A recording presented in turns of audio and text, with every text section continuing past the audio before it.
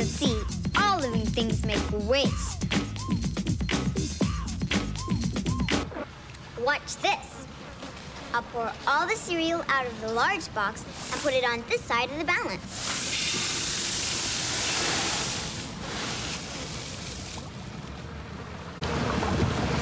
Now I'll pour the cereal out of the single serving boxes on this side.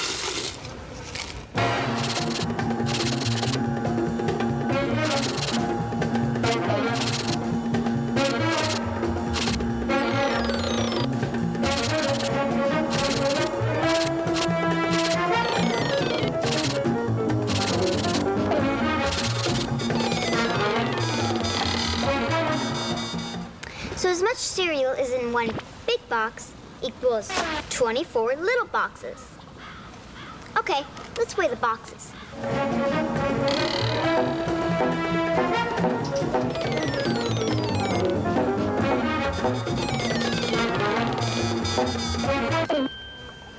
The cereal weighs the same, but the big box uses less cardboard, a lot less.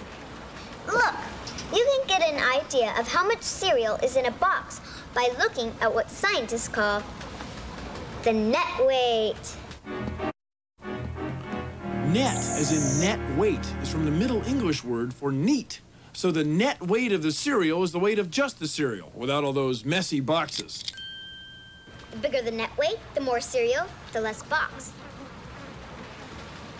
Buying a bigger box is a great way to do the first R, reduce.